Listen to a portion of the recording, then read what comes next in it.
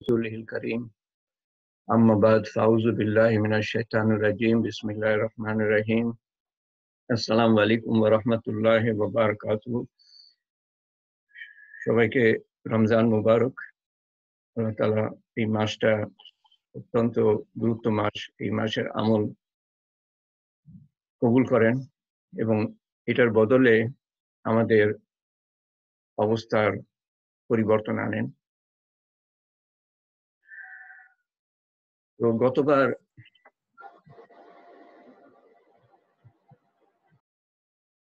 গতবার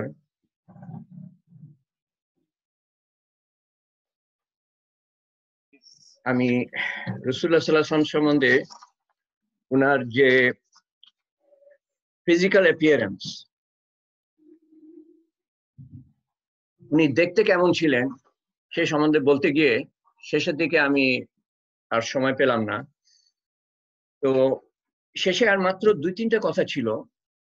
ছোট ছোট কথা। একটা আনাস রাদিয়াল্লাহু আনহু থেকে উনি বলেন যে রসুল্লাহ সাল্লাহ সাল্লামের যে যে হাতের তালু সিল্কের থেকেও নরম ছিল এবং তার থেকে সুগন্ধ বের হতো। উম্মে সুলাইম আনাস রাজিয়াল্লাহনু আবার বলেন যে ওনার শরীর থেকে যে ঘাম বের হতো, সেটা মুক্তার মতো ছিল। এবং উম্মে সুলাইম বলেন যে ওনার ঘাম থেকে অদ্ভুত সুগন্ধ বের হতো। জাবের আনহু বলেন যে রসুল্লাহ সাল্লাহ সাল্লাম কোন রাস্তা দিয়ে গেলে তারপরে যদি কেউ সেই রাস্তা দিয়ে যেত, তো রসুল্লাহ সাল্লামের শরীর থেকে যে সুগন্ধ বের হতো উনি চলে যাওয়ার পরে অনেকক্ষণ সে গন্ধ থাকতো এবং উনি যাওয়ার পরে একজন ওই রাস্তা দিয়ে চলতে গেলে বুঝতে পারতেন যে এর আগে রসুল্লাহ সাল্লাহ সাল্লাম এই রাস্তা দিয়ে গিয়েছেন। তো আমি অনেক কাটছাট করে উনার উনি দেখতে কেমন ছিলেন তার সম্বন্ধে বললাম। প্রথম অর্ধেকটা হলো এই বই থেকে। উনি দেখতে কেমন ছিলেন? তারপরেরটা হলো যে উনার বিশুদ্ধতা, চরিত্রের বিশুদ্ধতা, আচার, আচরণ সম্বন্ধে। তো গত তালিম এবং এই এখন পর্যন্ত যা বললাম, এটা তো আল্লাহ প্রদত্ত একেবারে। উনি ওয়াসিম কাসিম, সুন্দর মাথা থেকে পা পর্যন্ত এবং দেখলে আরও দেখতে ইচ্ছা করে। স্বাদ ভরে না। পৃথিবীতে এমন কিছু নাই যে দেখলে পরে আরও দেখতে ইচ্ছা করে। তো এটা তো আল্লাহ প্রদত্ত। এখানে আমাদের অনুকরণ, আমাদের নকল করার কিছু নাই।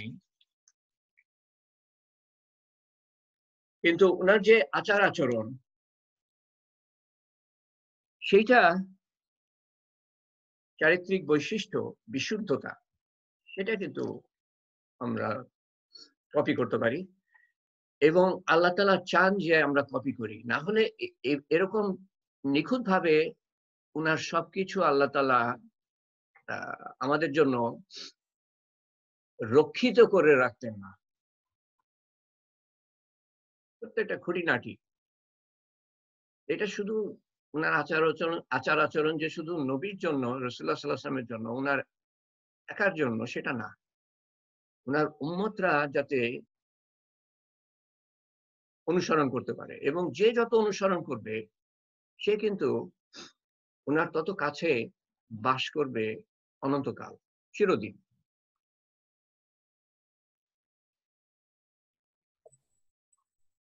তো আমরা মনোযোগ সহকারে শুনি এবং সবকিছু অনুকরণ অনুকরণ করতে না পারলেও যতটা পারি ততটা ওনার নিকটে আমরা বাস করব চিরদিন। প্রথমত লেখা আছে ওনার কথার সম্বন্ধে। অত্যন্ত বাগ্মিতা ছিল কথার মধ্যে, অভিজাত্য ছিল বাক পটুতা ছিল। এমন এক ব্যক্তি যিনি একদিনের জন্য কোনো স্কুলে যান নাই। তখনকার দিনে কি স্কুল ছিল আমি জানি না। হয়তো বাড়িতে গিয়ে শিখতো, কারও বাড়িতে গিয়ে শিখতো, কিন্তু একদিনের জন্য উনি যান নাই। উনি পড়তে তো পারতেন না, লিখতেও পারতেন না, সইও করতে পারতেন না। এবং উনি শহরের ভাষা, বেদুইনদের ভাষা, বিভিন্ন এলাকার ভাষা সমানভাবে বলে যেতে পারতেন, যখন যেটা দরকার। অদ্ভুত ব্যাপার কিন্তু। বিভিন্ন জায়গা থেকে লোকজন আসতো ওনার সাথে দেখা করতে, কথা বলতে। উনি ঠিক তাদের মতো করে কথা বলতেন। তাদের অ্যাকসেন্ট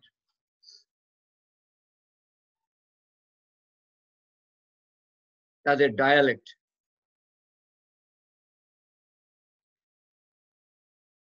তারপর ওনার মনোবল সম্বন্ধে বলা হচ্ছে। সহনশীলতা, ক্ষমাশীলতা, তুলনাহীন।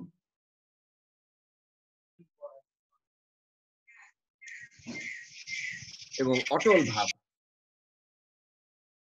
অটল ছিলেন তিনি।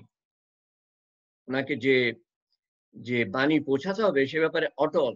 আমার এক হাত, এক হাতে চাঁদ যদি রাখা হয়, এক হাতে যদি সূর্য রাখা হয়, তবুও আমি এই বাণী পৌঁছাতে মানে আমি কাজ বন্ধ করব না। বাণী পৌঁছাতে থাকব আমি।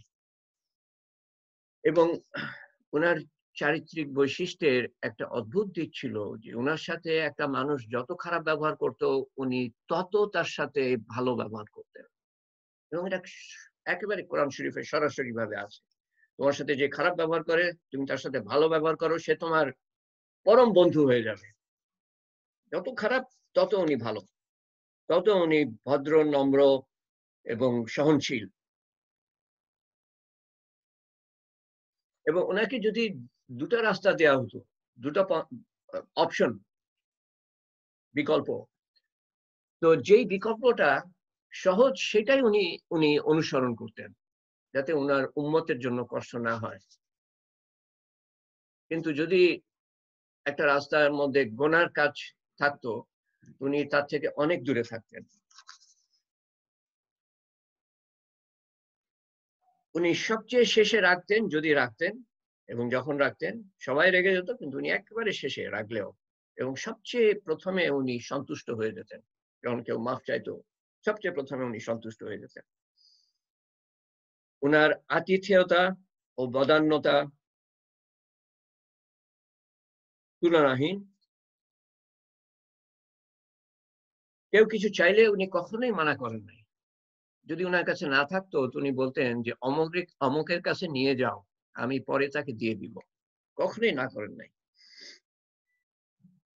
এটা এটা মানে অনুকরণ করতে না পারার কোনো কোনো কারণই দেখি না। আমাদের কাছে থাকলে আমরা সাহায্য করি, যখনই আমরা পারি সাহায্য করি। হ্যাঁ এটা বদলা, এটা কিন্তু ব্যাংক অ্যাকাউন্টে জমা হচ্ছে। আল্লাহ আল্লাহর যে অ্যাকাউন্ট আমাদের নামে, সেখানে জমা হচ্ছে। আমরা যত দানশীল হব। উনার বীরত্ব, সাহসিকতা এবং শক্তি ওনার চারিত্রিক একটা বিরাট বৈশিষ্ট্য। সবচেয়ে সাহসী উনি ছিলেন যুদ্ধের মাঠে। সবাই কেউ না মানে সবচেয়ে বড় বীর কোনো না কোনো সময় যুদ্ধের মাঠে ঘাবড়ে যায়, সবচেয়ে বড় বীর। কিন্তু উনি ওনাকে কোনো সময় যুদ্ধের মাঠে ঘাবড়াতে কেউ দেখে নাই।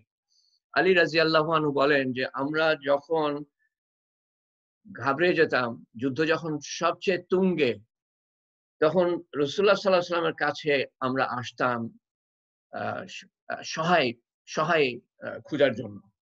এবং উনি শত্রুর সবচেয়ে কাছে থাকতেন।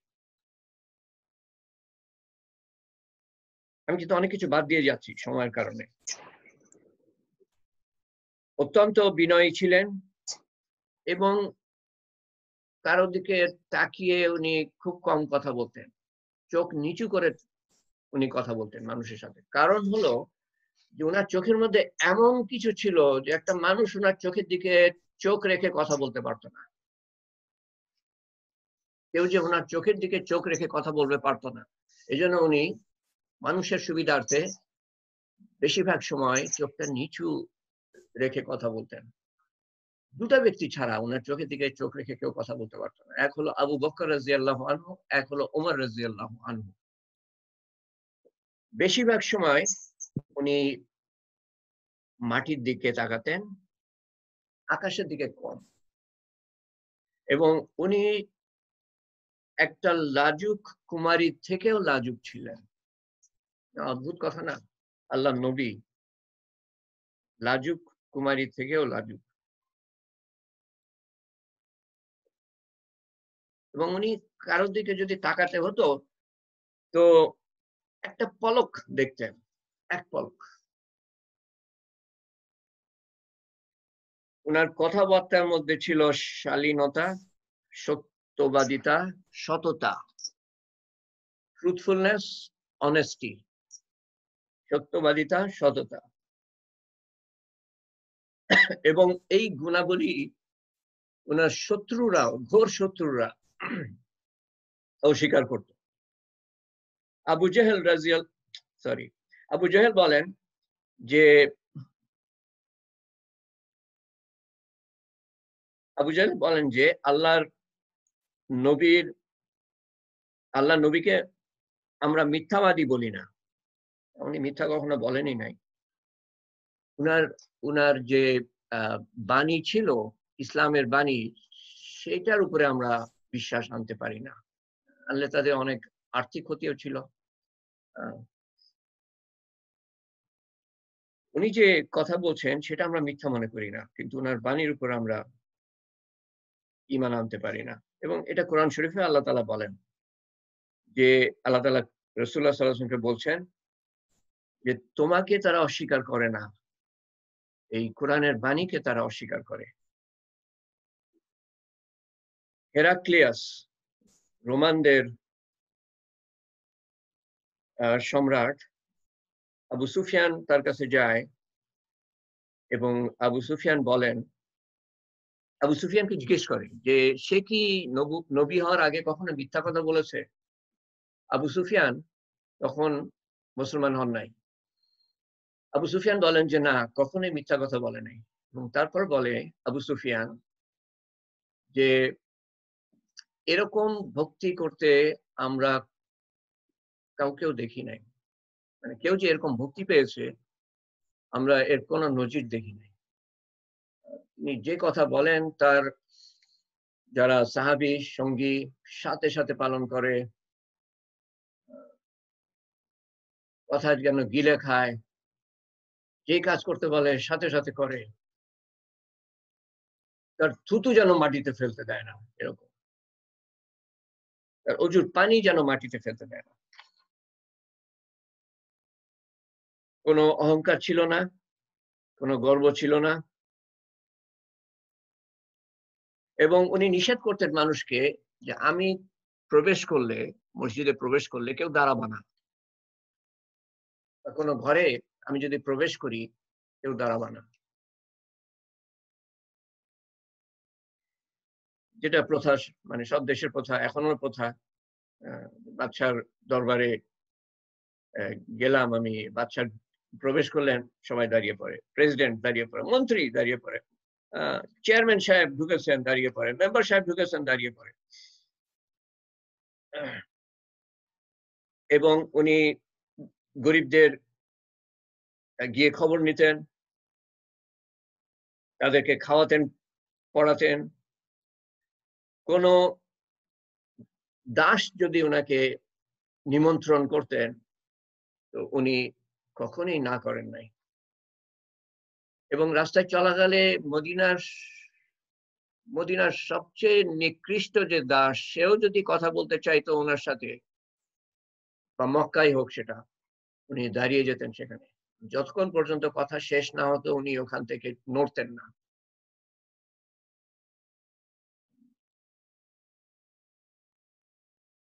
এবং অদ্ভুত অদ্ভুত ব্যাপার যে উনি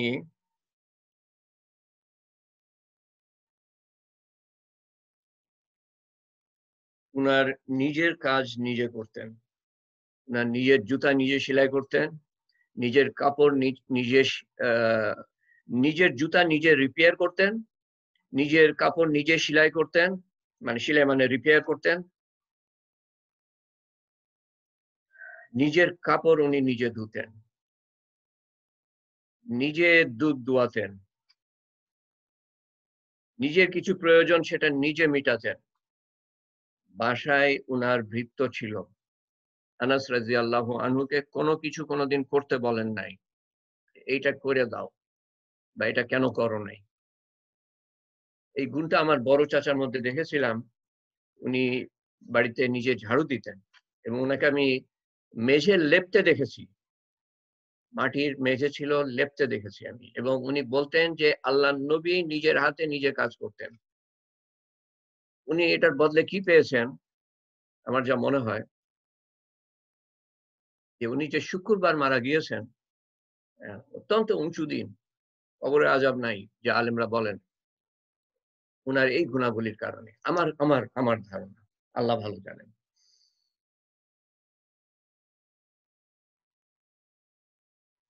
এবং রসুল্লাহ সাল্লাহ সাল্লাম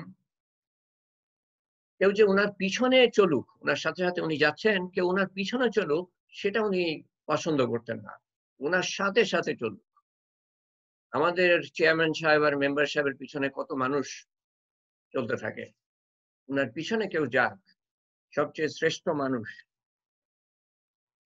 দুনিয়ার বাচ্চার বাচ্চা তার পিছনে কেউ যাক, উনি সেটা চাইতেন না। উনি উনার প্রতিজ্ঞার ব্যাপারে একেবারে সচেতন। পুরোপুরি প্রতিজ্ঞা উনি পালন করতেন। সবার সাথে ওনার ভালো সম্পর্ক, বিশেষ করে আত্মীয় স্বজনের সাথে তাদের খবর নিতেন। অত্যন্ত সাদাসিধা জীবন, বলার অপেক্ষা রাখে না। কোনো অভদ্রতা নাই। কোনো অশ্লীলতা ছিল না ওনার জীবনে। এবং উনি কাউকেও কোনো খারাপ নামে ডাকতেন না। যেটা আমাদের স্বভাব, এক একজনকে এক একটা নাম দিয়ে তাদেরকে ডাকা। কারও প্রতি কোনো দুর্ব্যবহার নাই। সবাইকে উনি ক্ষমা করতেন।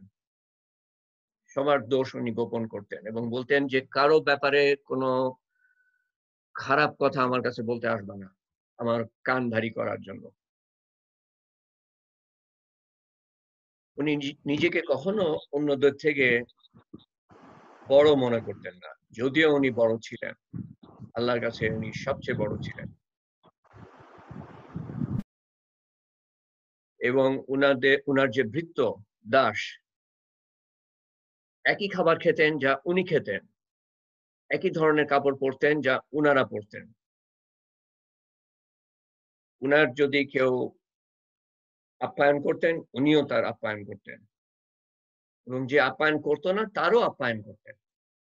এবং উনার দাস দাসীদের প্রতি উনি কখনো উফ শব্দটা ব্যবহার করেন নাই। কখনো তাদের উপর দোষারোপ করেন নাই।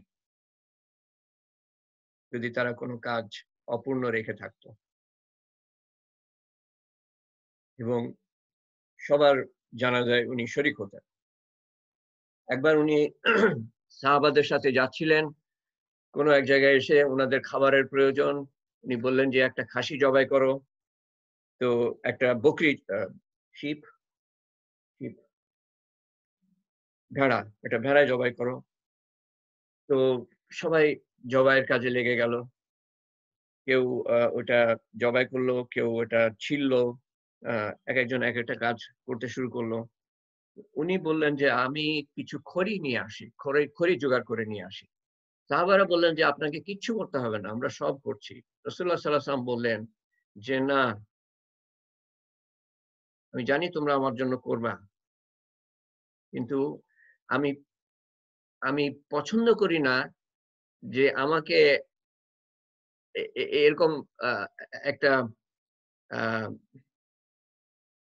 আমাকে অন্যভাবে দেখা হবে। আল্লাহ তালা পছন্দ করেন না যে তার বান্দা অন্যদের থেকে আলাদা হবে। তো আমাকে যে আলাদাভাবে দেখবা, এটা আমি পছন্দ করি না।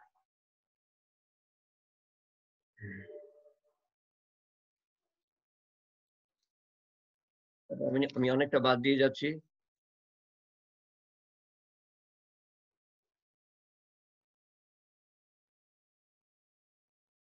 উনার কাছে সবচেয়ে ভালো হলো সে যে সবচেয়ে অন্যদের ব্যাপারে যত্নশীল ছিলেন। আল্লাহ তালা বলেন যে সমস্ত সৃষ্টি আল্লাহর পরিবারভুক্ত। সেই আল্লাহর প্রিয় যে আল্লাহর পরিবারের সেবা করে। তো রসুল্লাহ সাল্লাহ সাল্লামের কাছে সেই ব্যক্তি প্রিয় ছিল যে অন্যদের ব্যাপারে যত্নশীল ছিল, অন্যদেরকে সান্ত্বনা দিত অন্যদেরকে সহযোগিতা করত, অন্যদেরকে সাহায্য করত। ওনার জন্য কোনো বিশেষ জায়গা নির্দিষ্ট করা ছিল না মসজিদে। উনি গিয়ে দেখেন যে সাহাবারা বসে আছেন, উনি পিছনে গিয়ে বসে থাকতেন। কখনো সামনে গিয়ে মধ্যে গিয়ে বসতেন না। এবং অন্যদেরও বলতেন যে, তোমরা যখন আসবা, পিছনে গিয়ে বসবা। সেটা আবু বকর হোক বা ওমর হোক, যেখানে জায়গা পাবা, সেখানে বসবা। অন্যরা যাতে জায়গা ছেড়ে না যায়, ওনার জন্য উনি কাউকেও জায়গা ছাড়তে দিতেন না। এগুলো যা কিছু আমরা শুনলাম এগুলো অনুকরণ করতে না পারার কোনো কারণ নাই। আমার মধ্যে যদি আমিত্ব থাকে, তাহলে আমি চাইব যে, আমার একটা বিশেষ জায়গা থাকবে বা আমার পিছনে মানুষরা হাঁটবে, আমি সামনে হাঁটবো। বা আমাকে দেখলে মানুষ দাঁড়াবে, ইত্যাদি ইত্যাদি। আমাকে সম্মান করবে, আমাকে আগে সালাম দিবে। ওনাকে কেউ কোনোদিন আগে সালাম দিতে পারে নাই।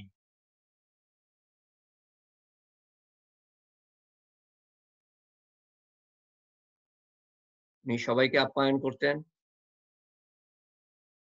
যারা ওনার কাছে আসতো।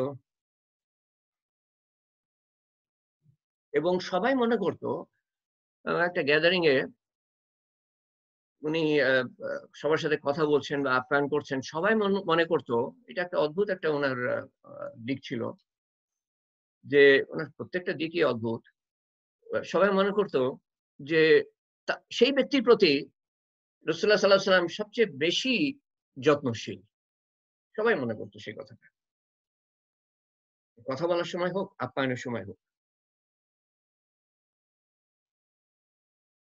এবং কেউ কথা বললে উনি চুপচাপ শুনতেন। পুরোপুরি শেষ না হওয়া পর্যন্ত রসুল্লাহ সাল্লাহাম কথা বলতেন না।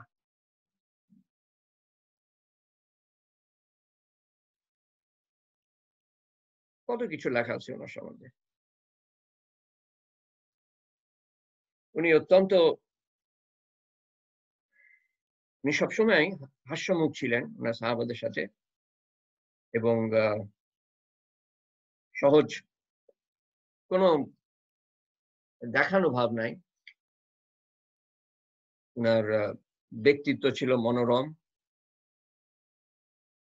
যদিও উনি দেখতে, কেউ প্রথম দেখলে ওনাকে ভয় লাগতো। একটা ভীতি জাগতো মনের মধ্যে।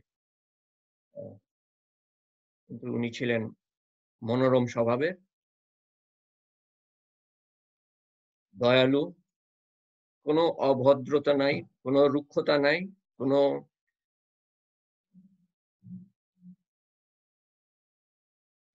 অশালীনতা নাই। কাউকে উনি দোষারোপ করতেন না এবং প্রশংসা অত্যাধিক করতেন না। কোনো ভণ্ডামি, কপটতা ছিল না। অত্যাধিক, কোনো অপচয় উনি পছন্দ করতেন না। আধিক্য আধিক্য বা অপচয় উনি পছন্দ করতেন না। আমাদের বলাই আছে যে যে অপচয় করে সে শয়তানের বন্ধু। এবং যে জিনিসটা উনার সাথে উনার কনসার্নে না, উনার মানে it does not concern him none of his concern মানে ওনাকে কোনোভাবে এফেক্ট করে না, সেটা ব্যাপারে ওনার কোনো উৎসুক ছিল না, ঔৎসুক্য ছিল না।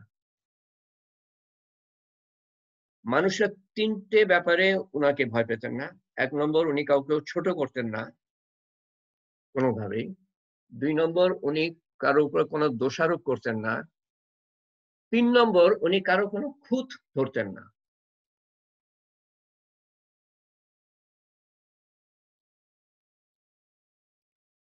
এবং উনি বলতেন যে কেউ যদি কোনো কাজ বা কোনো জিনিস হাসিল করতে চেষ্টা করছে, আন্তরিকভাবে তাকে সাহায্য করো। এবং মানুষের উপকার করে, সাহায্য করে, তার কাছ থেকে কোনো বদলা চেও না। আল্লাহর ওয়াস্তে করো, আল্লাহর কাছে তুমি বদলা চাও। আমাদের হয় কি যে আমরা যদি কাউকে সাধারণভাবে বলছি আমার কথা বলছি কারও কোনো উপকার করলাম, মনের মধ্যে থাকে যে সে আমার উপকার করবে তো তারপর দেখা গেল যে সে করল না, উল্টাটা করল। আমি গেলাম, দেখাই করল না। তখন খারাপ লাগে। কিন্তু আমার মনের মধ্যে যদি থাকে যে না, আমি আল্লাহর বাস্তে করলাম, তাহলে তো সেই তার কাছ থেকে কোনো কিছুই আমি আশা করব না। সে আমার খবর নিল কি না নিল, দেখা করল কি না করল, আমার কিছু যায় আসবে না তখন অনেক বাদ দিয়ে যাচ্ছি।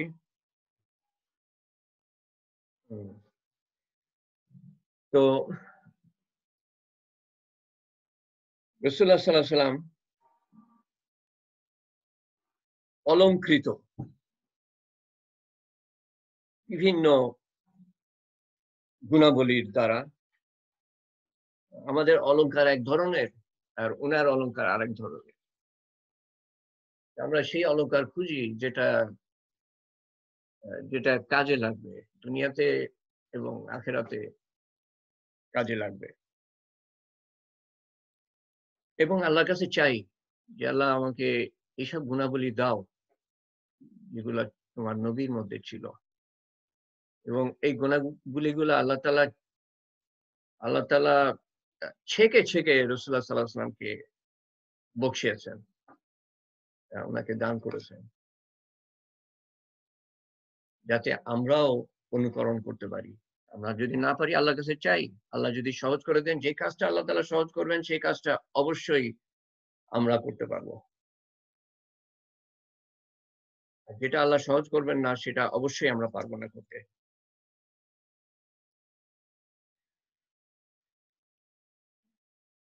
তো গুণাবলী ছিল বিশুদ্ধ।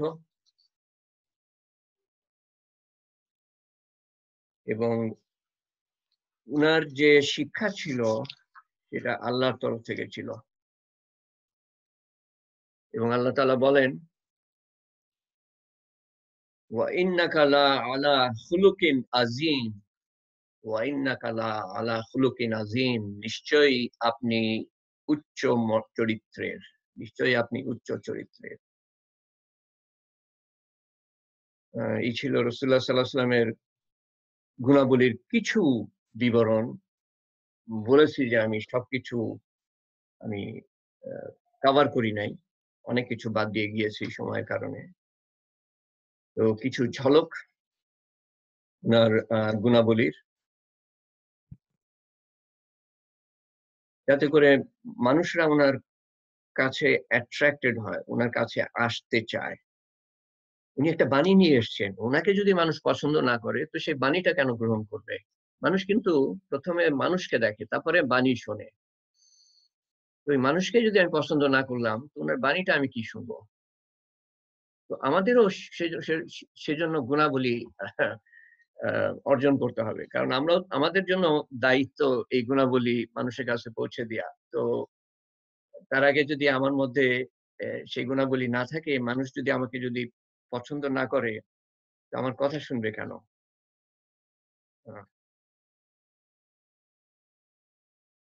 একবার ওমর আনহু এক রাস্তা দিয়ে হেঁটে যাচ্ছিলেন ওনাকে মানুষ সবাই ভয় পেত। বাচ্চারা পর্যন্ত ভয় পেত। তো বাচ্চারা খেলছিল সেই রাস্তায়। তারা খেলা না না, আমি উল্টো বললাম। একবার রসুল্লাহ সাল্লাহ সাল্লাম হেঁটে গেলেন, রাস্তা দিয়ে বাচ্চারা খেলছিল, তারা খেলতেই থাকল। তারা খেলা বন্ধ করল না। তো কিছুক্ষণ পরে সেই রাস্তা দিয়ে উমর রাজি আল্লাহ গেলেন। তখন বাচ্চারা খেলা বন্ধ করে দুই পাশে দাঁড়িয়ে থাকল।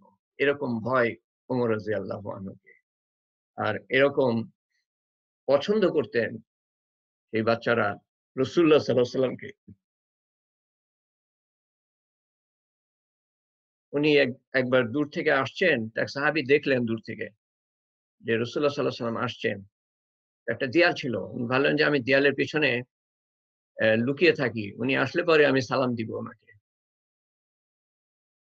তো এই সাহাবি লুকিয়ে আছেন। রসুল্লাহ সাল্লাহ সাল্লাম কাছাকাছি এসছেন। জিব্রাইল আল্লাহ সাল্লাম খবর দিলেন যে এখানে এক সাহাবি দাঁড়িয়ে আছে, অমুক সাহাবি।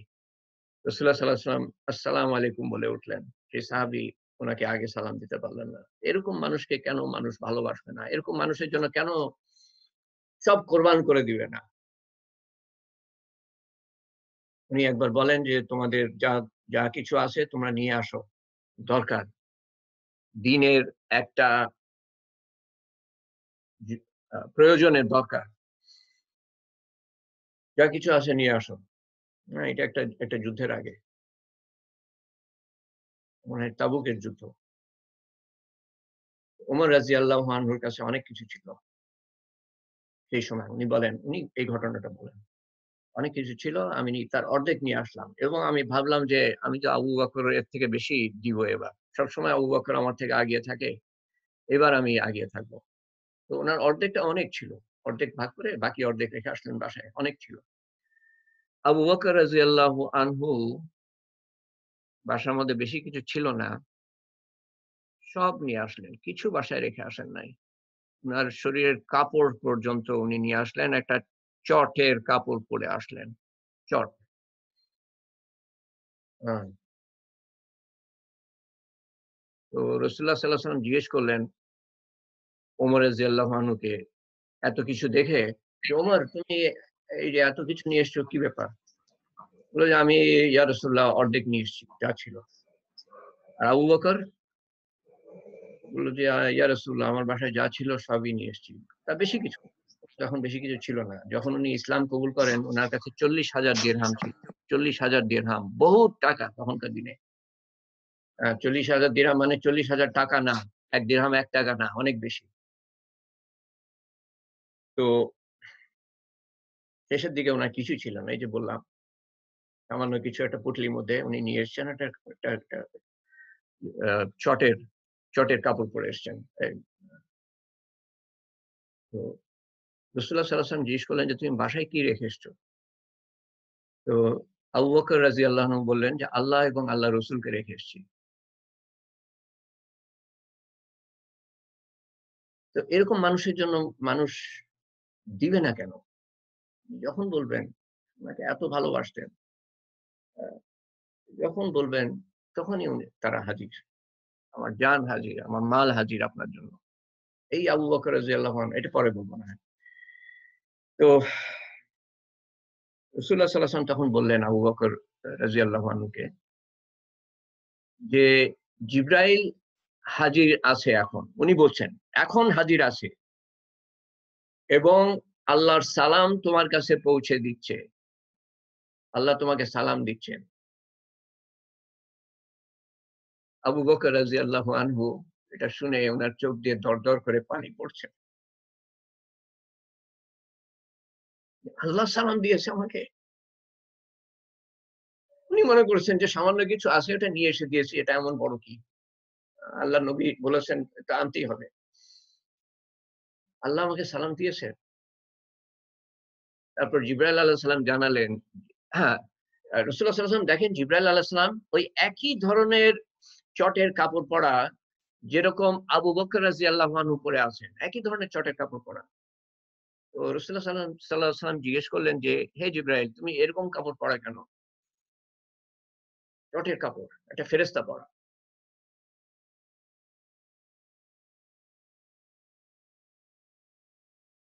জিব্রাইল আলাইসালাম উত্তর করলেন যে আজকে আল্লাহ তালা সমস্ত ফেরেস্তাকে হুকুম দিয়েছেন আবু বকর রাজি আল্লাহ আনুর মতো কাপড় পরতে।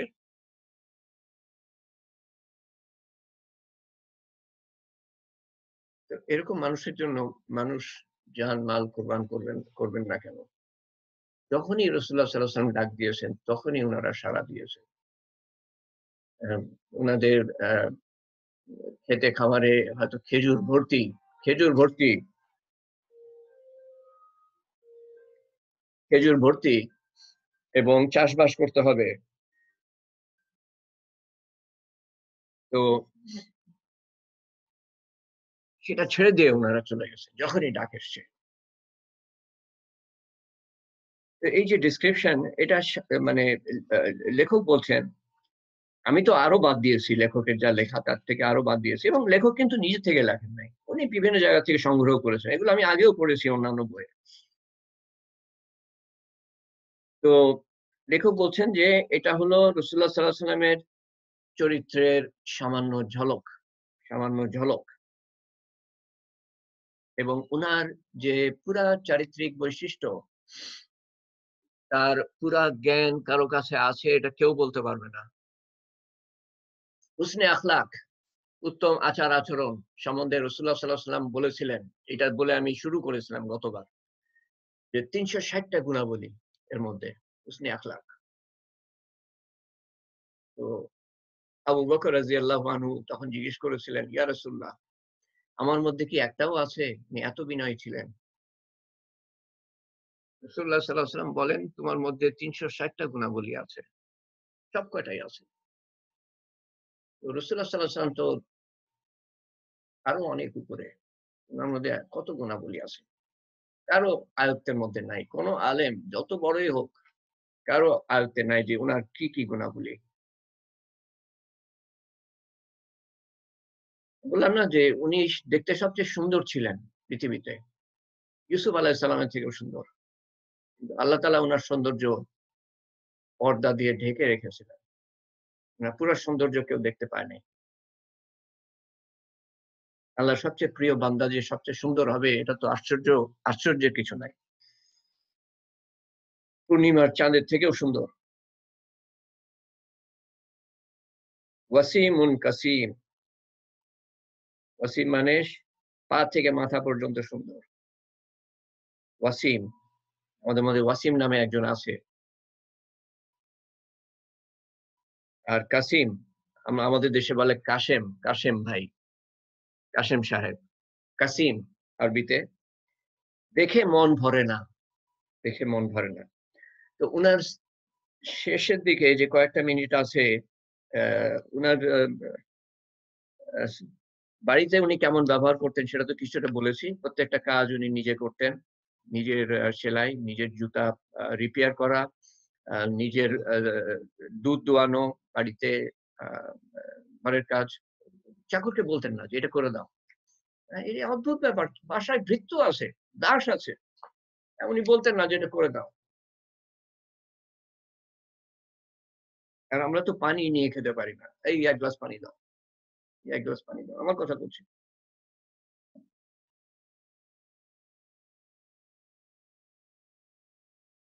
তো সামান্য কিছু কথা বলি, অল্প সময় আছে। স্ত্রীদের স্ত্রীদের সাথে ব্যবহার, উনি সবসময় বাসায় গিয়ে অন্যরকম।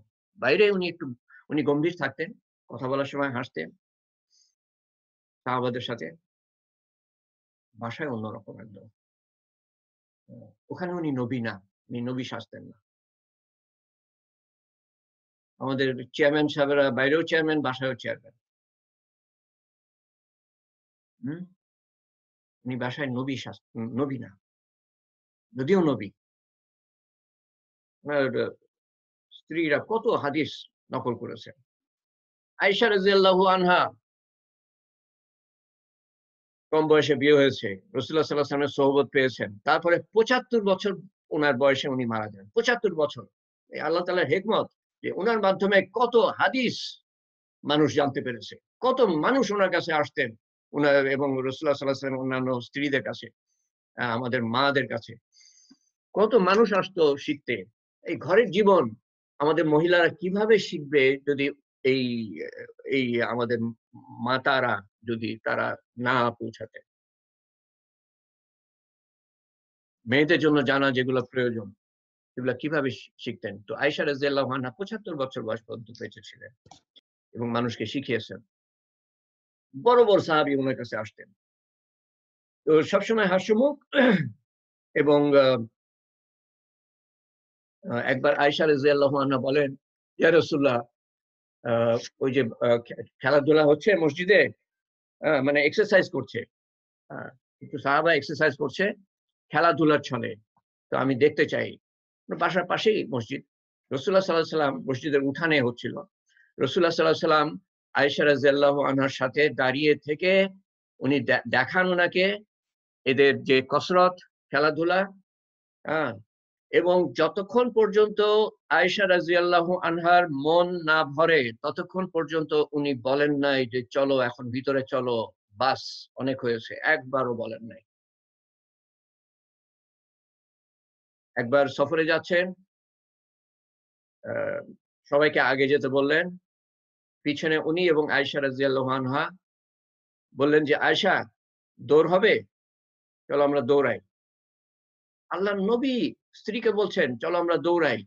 সবাই সামনে চলে গেছে। তো আয়সা রাজিয়াল্লাহ বলেন যে, আমরা দৌড়ালাম, তখন আমার বয়স কম, আমি আগিয়ে গেলাম। রসুল্লাহ সাল্লাহ সাল্লাম পিছিয়ে থাকলেন। পরে এক সময় আবার সফরে যাচ্ছিলেন রসুল্লাহ সাল্লাহ সাল্লাম সবাইকে বললেন, আগে চলে যাও তোমরা। আয়সা রাজিয়াল্লাহ আনহা এবং রসুল্লাহ সাল্লাহ সাল্লাম পিছনে বললেন যে আয়সা দৌড় হবে? তো তখন আবার দৌড়ালেন। আয়সা রাজিয়াল্লাহ আনহা বলেন যে এই সময়ের মধ্যে আমি মোটা হয়ে গেছিলাম। হ্যাঁ রসুল্লাহ সাল্লাহ সাল্লাম আগের মতোই জওয়ান। তেষট্টি বছর বয়সে উনি জওয়ান। তো এইবার আয়সা রাজিয়াল্লাহ বলছেন, এইবার আমি পিছিয়ে গেলাম। রসুল্লাহ সাল্লাহ সাল্লাম আগিয়ে গেলেন এবং উনি বললেন আয়সা তাহলে বরাবর হয়ে গেল। আগেরবার আমি হেরে গেছিলাম, এবার তুমি হেরে গেল। রসুল্লাহ সাল্লাম বলেন, যে তার স্ত্রীর কাছে উত্তম, সেই উত্তম। আমি উত্তম কারণ আমি আমার স্ত্রীদের কাছে উত্তম। ওনার স্ত্রীরা কোনোদিন কোনো কমপ্লেন করেননি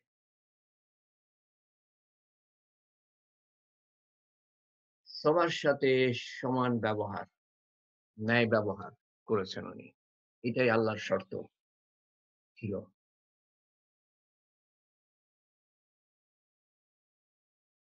ঘরে ঢুকে শেষ কথা বলে শেষ করি। ঘরে ঢুকে নিজে যখন দেখতেন কোন স্ত্রী ঘুমিয়ে আছে, রাত্রেবেলা উনি ঢুকেছেন। স্ত্রী হয়তো বা ঘুমিয়ে আছেন। উনি এত আস্তে সালাম দিতেন, এত আস্তে সালাম দিতেন যে স্ত্রী যদি জেগে থাকতো তো শুনতে পেত। আর যদি ঘুমিয়ে থাকতো তো ঘুম ভাঙতো না। এরকম মানুষ। সবাই আমরা অনুকরণ করতে পারি, কাউকে কষ্ট না দেয়া, স্ত্রীকেও না। কারোর সাথে খারাপ ব্যবহার না করা, স্ত্রীর সাথেও না। আমি এটা আমার নিজেকে আগে বলছি। তো আল্লাহ তালা আমাদের এই সোনা কবুল করেন। আল্লাহ আমিন। اللهم صل على سيدنا محمد. جزا الله أن محمدا ما هو لا إله إلا الله الحليم الكريم سبحان الله رب العالمين الحمد لله رب العالمين أسألك موجبات رحمتك وعزائم مغفرتك غنيمة من كل بر وسلامة من كل اسم لا تدع لنا ذنبا إلا غفرته ولا هما إلا فرجته ولا مريضا إلا شفيته ولا دينا إلا قضيته ولا مجاهدا إلا نصرته ولا مظلوما إلا نصرته ولا حاجة هي لك رضا إلا قضيت يا أرحم الراحمين يا أرحم الراحمين يا أرحم الراحمين ও আল্লাহ তুমি যা কিছু বলার এবং শোনার তৌফিক দিলে আল্লাহ তুমি তা কবুল করো আল্লাহ তোমাকে খুশি করার জন্য যেন আমরা বলে থাকতে পারি এবং শুনে থাকতে পারি এবং বোঝার তৌফিক দাও আল্লাহ, আমল করার তৌফিক দাও আল্লাহ, পৌঁছানোর তৌফিক দাও আল্লাহ, রহম করো আল্লাহ, হেফাজত করো, হেদায়ত করো আমাদেরকে, আমাদের সন্তান সন্ততিকে, আমাদের আত্মীয় স্বজনকে, আমাদের বন্ধু বান্ধবকে, আর আমাদের পাড়া প্রতিবেশীকে, আমাদের দেশবাসীকে, সমস্ত বিশ্ববাসীকে তুমি হেদায়ত করো আল্লাহ। এবং যা কিছু পাঠ করলাম তার ভুল ভ্রান্তি সংশোধন করে তোমার শাহী দরবারে কবুল করো আল্লাহ এবং রসুল্লাহ সাল্লাহ সাল্লামের কাছে পৌঁছে দিও আল্লাহ। উনার আহাল আসাবের কাছে পৌঁছে দিও, উনার উত্তরসূরি ও পূর্বসূরির কাছে পৌঁছে দিও আল্লাহ। সমস্ত মুসলমানের কাছে পৌঁছে দিও, খাস করে আমাদের আত্মীয় স্বজন যারা কবরে সাহিত আমাদের বাবা মা আমাদের দাদা দাদি আমাদের চাচা চাচি আমাদের নানা নানি আমাদের ফুপা ফুফু আমাদের খালা খালু, আমাদের মামা মামি, আমাদের আত্মীয় স্বজন আর আমাদের পাড়া প্রতিবেশী আল্লাহ, আমাদের পূর্বপুরুষ আল্লাহ যারা কবরের সাহিত্য আল্লাহ, সমস্ত মুসলমান, তাদের কবর আজম মাফ করো, কবর প্রশস্ত করো, আল্লাহ জান্নাতের বাগিচা বানিয়ে দিও, আল্লাহ নূর দিয়ে পরিপূর্ণ করে দিও, আল্লাহ, ও আল্লাহ কবর প্রশস্ত করো, আল্লাহ কেমতের দিন আমল নামার ডান হাতে দিও, আল্লাহ আরশে নিচে ছায়া দিও, বিদ্যুতের গতিতে পুলসিরাত পার করে দিও, আল্লাহ আল্লাহ আল্লাহ বিনা হিসাবে জন্য দাখিল করো, আল্লাহ। আল্লাহ, এবং আমরা যখন দুনিয়াতে থাকব না আল্লাহ আমাদের সাথে অনুরূপ, উত্তম ব্যবহার করব আল্লাহ, কবরে এবং হাসরে এবং ফুলসেরা পার হতে এবং জান্নাতুল ফেরদৌসে দাখিল করার ব্যাপারে আল্লাহ। আল্লাহ আল্লাহ, আমাদের মধ্যে কত মানুষ আল্লাহ, কত ধরনের পেরেশানিতে আল্লাহ, তুমি নিমেষে দূর নিমিষে দূর করে দিতে পারো আল্লাহ। কত ধরনের কষ্টের মধ্যে আল্লাহ, কত ধরনের বালা মুসিবতের মধ্যে আল্লাহ, কত ধরনের অসুখ বিসুখের মধ্যে আল্লাহ, কত ধরনের দুশ্চিন্তার মধ্যে আল্লাহ আল্লাহ, তুমি নিমেষে তা পূরণ করে দিতে পারো, দূর করে দিতে পারো আল্লাহ। যারা অন্নহারা, বস্ত্রহারা, গৃহহারা, দিশাহারা, পথহারা, কন্যাদায়গ্রস্ত, রোগগ্রস্ত, ঋণগ্রস্ত, অভাবগ্রস্ত আল্লাহ তাদের দেখাশোনা করো, দেখভাল করো আল্লাহ। তুমি দেখভাল করনেওয়ালা আল্লাহ, তুমি সমস্ত শক্তি আল্লাহ, তুমি প্রতিপালক আল্লাহ, ও আল্লাহ, তুমি হেফাজত করনেওয়ালা আল্লাহ ও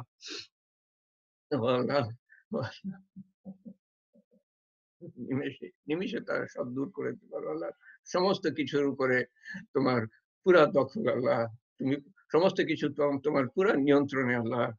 ও আল্লাহ, তুমি আমাদের জন্য সহজ করে দাও। আমাদের হায়াতুন তৈয়বা দান করো আল্লাহ। দুনিয়াতে আল্লাহ তোমার তোমার রেজামন্দির সাথে বাস করতে পারি এবং মৃত্যুর সময় তোমার রেজামন্দির সাথে আমরা যেতে পারি এবং আখেরাতে তোমার রেজামন্দির সাথে তোমার সাথে সাক্ষাৎ করতে পারি আল্লাহ। ولا ربنا آتنا في الدنيا حسنة وفي الآخرة حسنة وقنا عذاب النار. ربنا هب لنا من أزواجنا وذرياتنا قرة أعين واجعلنا للمتقين إماما. ربي اجعلني مقيم الصلاة ومن ذريتي. ربنا تقبل دعاء. اللهم إنك عفو كريم تحب العفو فاعف عنا. ربنا ظلمنا أنفسنا وإن لم تغفر لنا وترحمنا لنكونن من الخاسرين. ربنا لا تزغ قلوبنا بعد إذ هديتنا وهب لنا من لدنك رحمة إنك أنت الوهاب. أنت ولينا في الدنيا والآخرة. أنت ولينا في الدنيا والآخرة. أنت ولينا في الدنيا والآخرة. يا مولانا يا مولانا يا مولانا. حسبنا الله ونعم الوكيل. حسبنا الله ونعم الوكيل. حسبنا الله ونعم الوكيل. حسبي الله لا إله إلا هو. عليه توكلت وهو رب العرش العظيم. حسبي الله لا إله إلا هو. عليه توكلت وهو رب العرش العظيم. ربنا تقبل مني انك انت السميع العليم وتب علينا انك انت التواب الرحيم سبحان ربك رب العزه عما يصفون وسلام على المرسلين والحمد لله رب العالمين وحمد لا اله الا الله محمد رسول আসসালামু আলাইকুম আহ, পরের তালিমটা ইনশাআল্লাহ শনিবার হবে এবং পরের তালিমটা ইনশাআল্লাহ মঙ্গলবার হবে, আজকে শনিবার, মঙ্গলবার হবে। তো এই রোজাটা আমরা এমন ভাবে কাটাতে পারি, আল্লাহকে এমন ভাবে খুশি করতে পারি, প্রত্যেকটা ইবাদত এমন ভাবে করতে পারি, আত্মসমর্পণ এমন ভাবে করতে পারি, আস্তাগফার, তওবা এমন ভাবে করতে পারি যে আল্লাহ তালা কবুল করেন এবং আল্লাহ তালা কবুল করেন এবং আমাদের এবং আমাদের বিশ্ববাসীর অবস্থার পরিবর্তন আনতে পারেন আল্লাহ তাআলা। সমস্ত কষ্ট দূর করে দিতে পারেন এই রোজার মধ্যে, ইনশাআল্লাহ। এইভাবে আমরা রোজা করি। আমরা প্রত্যেকে মনে করি যে আমরা প্রত্যেকেই অত্যন্ত ক্ষমতাবান রসুল্লাহ সাল্লাহ সাল্লামের উম্মত। অনেক ক্ষমতা রাখি আমরা, আমাদের আমলের দ্বারা। আল্লাহ আল্লাহ তালার কাছে সেইভাবে দোয়া করি। আল্লাহ তালা আমাদের মধ্যে অনেক গুণাবলী দিয়েছেন, সেগুলো পরিস্ফুটন ঘটাই। যা শুনলাম আমরা, সেগুলো পরিস্ফুটন আসসালামু আলাইকুম রহমতুল্লাহ রমজান মুবারক